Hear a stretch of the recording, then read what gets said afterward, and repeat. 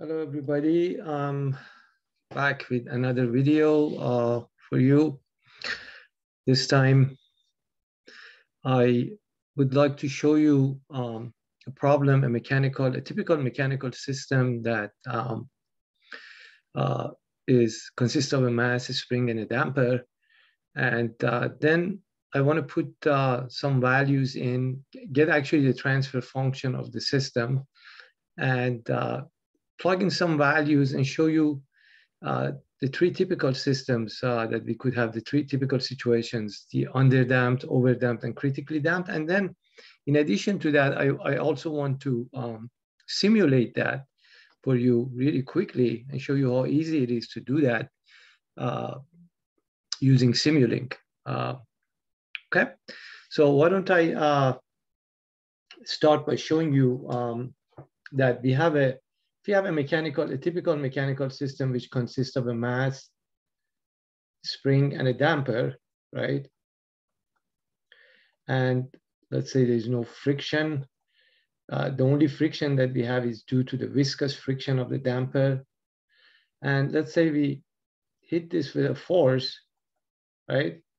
And this force could be anything, could be a sine wave, could be a step function, a constant. Um, and let's say if you um, try to get the differential equation of this system. Now, I'm not going to spend really too much time, really quickly show you that actually the differential equation of this system uh, can be easily uh, determined by doing a quick free body diagram. So a free body diagram of the mass consists of the force and the force, the input force here, F of t, and then two forces coming from the spring, which is just kx. So in other words, if the, the spring is deformed by x, and the damper is also, uh, you know, given that displacement, the force of the spring is kx, and the force of the damper is related to the, the, the relative speed, in this case, x dot. Okay, and then just doing F equal ma, right? You end up getting a negative kx and negative cx dot and a plus f of t equal mass times acceleration. Of course, acceleration is x double dot, right? So eventually we get mx double dot plus cx dot plus kx. We're gonna put the uh, f of t on the other side. So this becomes what we call a second order differential equation, right? Uh, which is non-homogeneous because we do have right-hand side. So the right-hand side is not zero. So what I want to show you is that if we take the Laplace of this equation, right? You guys know um, based on initial conditions of zero, meaning that let's not have any initial disturbance. So in other words, we're not going to move the mass. The force is going to move the mass and no initial velocity. So this actually take the Laplace with the initial conditions being zero, we get an ms squared plus a cs plus a k times x of s. And then the Laplace of f of t becomes f of s.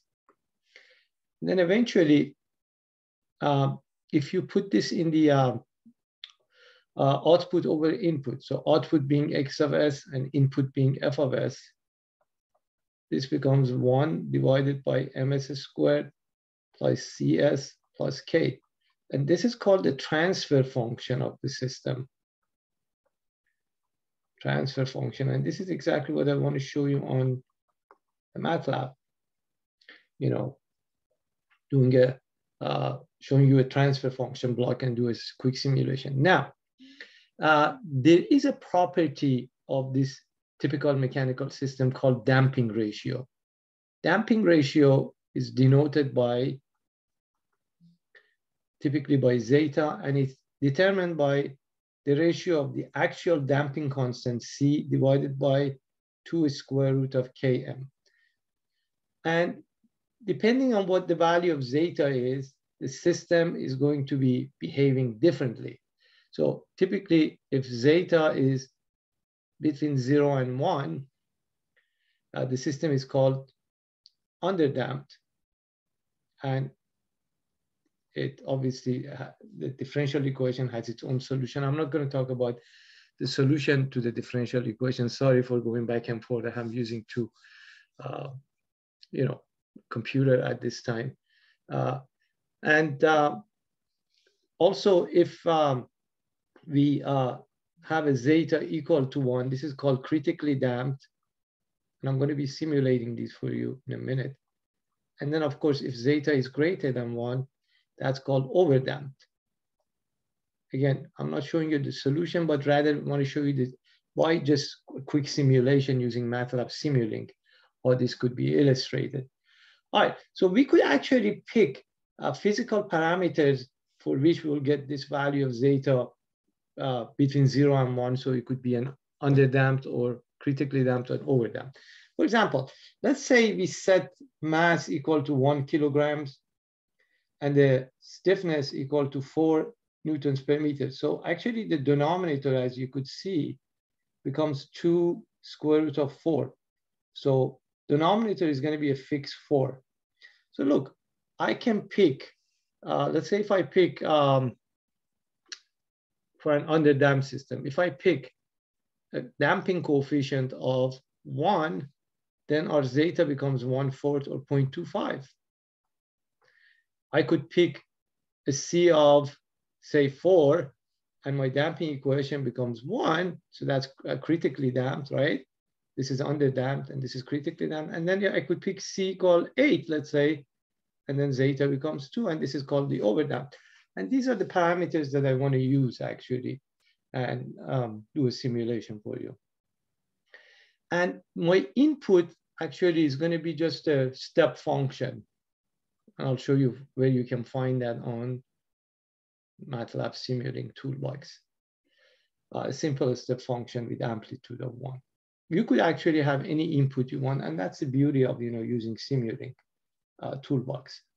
Okay, so now let me switch to, um, I want to use my MATLAB uh, on a different computer, so I'm going to actually stop sharing here and move uh, to sharing over here.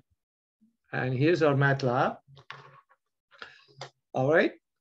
So let me move this guy up here. And now you guys have seen hopefully the video that the basic video that I had on just uh, how we can generate, you know, you know, see, uh, display a signal of a sine wave or add two sine waves and display it. If not, I can put the link of that video uh, also below this uh, video on YouTube. Anyways, you can initiate Simulink by just the prompt, uh, just say Simulink, or you can click on Simulink right here, okay? In any case, let's start the Simulink and see what happens. Drink a little bit of water. While this initiates, uh, I have to tell you that my Simulink here on this computer is 2018 version. On my Surface, uh, is a 2020. And in that video, you see I've had difficulty figuring some things, the location of things and so on. But anyways, this is a 2018 version. Not much difference between the two versions as far as I'm concerned. Uh, uh, so once the Simulink uh, starts, um, we'll start with the um, a blank model here, right? So click on that and you will get a, um, a workspace now, and I will show you how easily we can then uh, simulate uh, uh, what we call a second order mechanical system consisting of a mass, spring, and a damper. So here we go. This is our model uh, or, uh, you know, blank model. And then as soon as it, yeah, here we go. So the first thing you want to do is to just get the uh, library browser so click on that. And most of the things that we are using are in the commonly used blocks here. You could always search for whatever you want here in this box. And then basically we need a, a transfer function, uh, which we might not be able to find it here. Uh, so what we do, actually, I'm just gonna go to the continuous and that's where we have most of the control things here. So I'm going to click on the transfer function. Remember, you drag and you drop. So I'm going to bring the transfer function here. Then I'm going to go to uh, sources. The source is the input, okay? So the uh, input, I want to bring a step function, okay? So step, which is basically hitting it with a constant, and I want to have the magnitude of that equal to one. So we won't have to worry about that right now. And then how could we display this? So our output would be in the sinks, as you've seen in the previous video. So that would be just a simple scope. So just drag and drop. All right, let me show you what's going on with the, uh, the transfer function. Remember now, our transfer function, we had a one in the numerator, and these are the coefficients of what I showed you here. So for example, you guys recall that if I, let me stop sharing here and go back to our, back to here. And sorry for going back and forth so much. Uh, so I want to get, um, where is, here we go. So you guys recall that we had our transfer function here, and I don't know what happened to this guy. Uh, so basically, uh, I have a a source, right? Here we go. It took a while for it to come back. There we go. Okay, so you guys remember uh, the source is actually our input. This is the, uh, the f of t or f of s in this case. And then this is going to go to the transfer function. I'm going to show you in a second. And then our output is going to be the, uh, the sink, which is the scope. And we're going to display this. So actually, this is your x of s. It's going to be displayed here as a function of time eventually. Okay, so let's go ahead and uh, do this uh, using the uh, Simulink. We just had started doing this. So I have to do one more uh, switching get back to the uh, our MATLAB. Here we go. So you guys recall that in the denominator, if I have a one, see one is the mass actually, ms squared, right? And then the second coefficient is going to be the coefficient of the damper. So I'm gonna adjust this. So we said, okay, if we put a one, and the K is four. So let's say apply, okay. If you open this up, actually you could see how this will look like. Here we go. That's exactly what we want. S squared plus S plus four. So that's MS squared plus CS plus four. Mass of one kilogram, uh, damping coefficient of one, and a spring constant of four. Okay, so that would be a zeta of what? Zeta of one fourth. So look, uh, if you've seen before, we can connect these. And I want to show you with the step function, really don't have to change anything. We're just going to hit this with a step function. Step function basically means, you know, uh, a value magnitude of one over one second period from zero to one second. Okay, so actually we can just run it. So hit the run button and let me run this actually for more than 20 seconds. So let's say we run it for 25 seconds, okay? And we click on the uh, run button and this will take few seconds. And once it's done, you're ready to see our result by hitting the scope.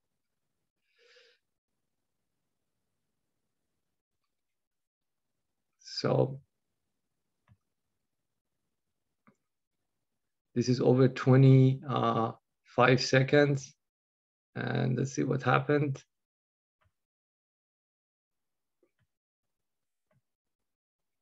Is interesting. S squared, uh, we have so we have one S squared, one S, and so on. I think we have everything right. One zero one, that's fine. This is the one one four, that should look good. And then our scope, Okay, let's run this. Let me see. Did something happen? Let's, let me just change this to 10 seconds again. And let's hit it again. Wow, I don't know what happened. Didn't like the 25 seconds. Maybe it did kind of die down. So look, this is what we call an underdamped system. Uh, if the curve is not smooth because uh, you are not having enough uh, data points. So you can go under simulation, model configuration parameter, and um, basically, uh, pretty soon you will see if you go to data import and export and then additional parameters, just make this a larger number. So maybe you want to make it to 1000. So let's apply and say, okay. And let's uh, run it one more time. And take a look at the scope now. It's much, much smoother. Look, this is an underdamped system. See that? So the system is going to settle down at about one fourth. And that's because we're hitting it with a uh, step function. Okay, so now let's do this. Let's um, make that, make the zeta much smaller. So why don't we make this like um, uh, even smaller, 0.5. So here, if I make, make this 0.5, so now remember, based on what I showed you earlier, uh, zeta now is going to be 1 8 instead of 1 fourth, right? So that means it's going to take longer for it to settle down. So you're going to have a lot of up and down. What happens now? Look, it's going to take much longer. And in fact, if I change the simulation time uh, to say 20 seconds, say, right, and run it, look, you could see so many uh, peaks, you know, before it settled on uh, at around 0.25. All right, let's look at actually uh, critically damped. That would be zeta equal one. Remember, that would be when we set this guy equal to a four, I believe. So the damping coefficient is equal to four. So let's make that four say, okay, so now you see the trans transfer function is s squared plus 4s plus 4. Let's run it and take a look. Look at this guy now. Look at that. See how it, again, settling at 0.25. So the final value is 0.25. But look, there is no oscillating anymore up and down. There's no oscillation. And uh, I have some videos actually of the nature of the differential equation or the outcome that you get. And you see why this is going to be an exponential function actually. The other one was is an exponential function attached to a sine wave, the underdamped case. I have videos on that. If you search on YouTube, you'll find them. Uh, and then let's do one more case. Uh, what about overdamped? So let's make this eight. If you make C equal to eight, then zeta becomes two. And that would be an overdamped case. Let's run it and take a look at the scope and look. Very similar, uh, but you could see actually this uh, curve is a little bit lower. Let's change it to one more time to 16. Let's see what happens to the curve. So we're making it even much, putting basically more friction more viscous friction. So let's run it and see what happens now. So look, this is going to come down a little bit. All right, so that's an overdamped case.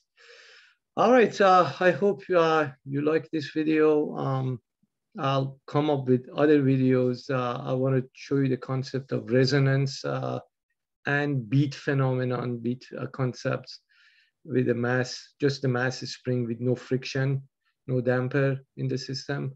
Uh, soon I'll come with the video like that. And um, as always, if you like the video, please subscribe and we'll have new videos for you.